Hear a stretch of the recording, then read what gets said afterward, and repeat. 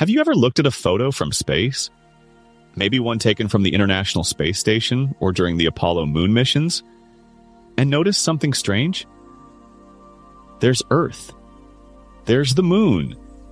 There are astronauts, rovers, satellites, even distant planets.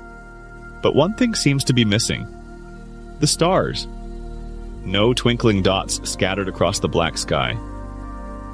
Just darkness. And it's kind of weird, right? Because we know the stars are out there. In fact, space should be the best place to see them. There's no atmosphere to blur or block the light, no clouds, no light pollution, just you and the raw universe. So, where did all the stars go? This question has sparked confusion for decades. Some people even claim it's evidence that space photos, especially the ones from the moon landings, were faked. I mean, if you were really on the moon, surrounded by stars, wouldn't your camera pick them up? Actually, no. And the real reason is much simpler than any conspiracy.